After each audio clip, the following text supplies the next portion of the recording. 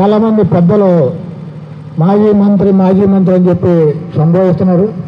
నేను ఈ గుడివాడకి ఎమ్మెల్యే నాలుగు సార్లు. నాకు అన్నిటికన్నా ఇష్టమైనటువంటి పదవి గుడివాడ శాసనసభ్యుడైనటువంటి పదవి. దయచేసి నన్ను సంబోధించేటప్పుడు ఇక్కడ లోకల్ అయితే శాసన శాసనసభ్యుడు బయట అయితే గుడివాడ శాసనసభ్యుడు అని చెప్పి సంబోధించాలని చెప్పి ఈరోజు జగన్మోహన్ రెడ్డి గారి ప్రభుత్వంలో మొన్న జరిగినటువంటి క్యాబినెట్లో దళితులకి ఎస్సీలకి ఎస్టీలకి మైనార్టీలకి అదేవిధంగా బీసీలకి ఎప్పుడు లేనటువంటి విధంగా దాదాపు డెబ్బై శాతం మంత్రి పదవులని ఈ వర్గాలకే ఇచ్చారు. ఎందుకు? గతంలో చంద్రబాబు నాయుడు కానీ అంతకుముందు గవర్నమెంట్లు కానీ చూసాము. సిక్స్టీ ఫైవ్ పర్సెంట్ అగ్రవర్ణాలు ఉండే నాలుగు కులాలు ఉండే ఆ థర్టీ ఫైవ్ పర్సెంట్లోనే ఈ రాష్ట్రంలో ఉన్నటువంటి తొంభై కులాలు ఉండే పాతి మంది మంత్రులు ఉంటే పదిహేను మంది పదహారు మంది అగ్రకులాలే. మిగిలినటువంటి తొమ్మిది పదే ఎస్సీలు కానీ బీసీలు కానీ మైనార్టీలు కానీ ఎస్టీలు కానీ ఉండేవారు. యూటీలో తొంభై కులాలు ఉన్నాయి ఈ కులాలకు ఏటీ కూడా ప్రాతినిధ్యం లేదు. అంటే రాజకీయాన్ని ఈ అగ్ర కులాలను నడపగలవు. వీళ్ళు చెబితేనే ఓటేస్తారు. వీళ్ళ చెప్పు చేతల్లోనే రాష్ట్రాలు రాష్ట్ర ప్రభుత్వాలు ఉంటాయన్నటువంటి ఒక పిచ్చి భ్రమ ఉండేది. ఈ రాష్ట్రంలో అధికారంలోకి తీసుకురావాలంటే ఒక పార్టీని నేను బాధపడతా మంత్రి కాకపోతే నేను బాధపడినా. ఎందుకంటే ఎమ్మెల్యే పదవి అనేది ప్రజలిచ్చేటువంటి పదవి. వారి దగ్గరికి వెళ్ళి ఓటేసి అడగమన్నప్పుడు ఈ రాష్ట్రంలో నా నియోజకవర్గం ఉన్నటువంటి రెండు లక్షల మంది ప్రజానీకం నన్ను కాదనుకుంటే దానికి నేను బాధపడాలి.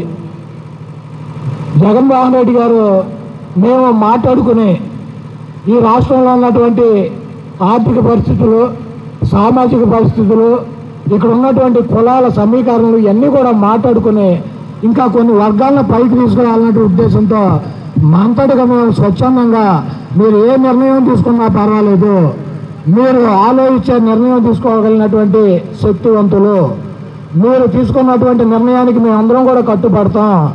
మీరు ఈ రాష్ట్ర ప్రయోజనాలు దృష్టిలో పెట్టుకోండి. పార్టీ ప్రయోజనాలు దృష్టిలో పెట్టుకోండి.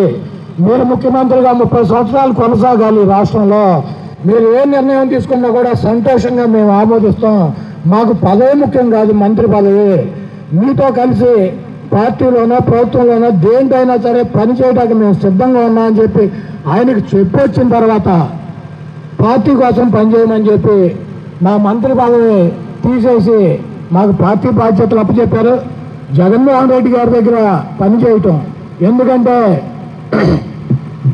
పేద వర్గాల కోసం బడుగు వర్గాల కోసం బలహీన వర్గాల కోసం వాళ్ళని ఆర్థికంగా రాజకీయంగా సామాజికంగా పైకి తీసుకురావాలన్నటువంటి పని చేస్తున్నటువంటి నాయకుడి దగ్గర పనిచేయటం మాకు గర్వంగా ఉంటుంది కానీ అది మంత్రి పదవ లేకపోతే పార్టీ పదవా?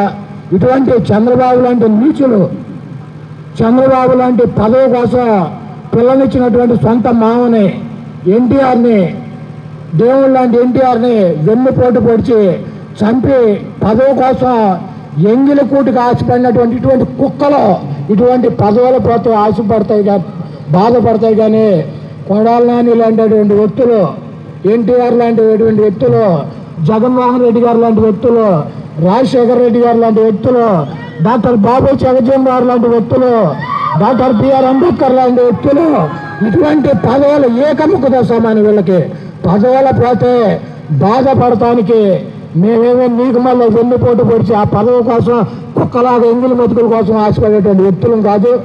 కాబట్టి మాట్లాడేటప్పుడు ఒళ్ళు దగ్గర పెట్టుకుని మాట్లాడాలి. ఈరోజు జగన్మోహన్ రెడ్డి గారు తీసుకున్నటువంటి ప్రతి నిర్ణయానికి మేము కట్టుబడి ఆయన వెనకాల పనిచేస్తున్నాం జగన్మోహన్ రెడ్డి గారు మీకోసం పనిచేస్తున్నటువంటి వ్యక్తి మీ అభ్యున్నతి కోసం పనిచేస్తున్నటువంటి వ్యక్తి ఈరోజు చంద్రబాబుని అధికారంలోకి తీసుకురావాలని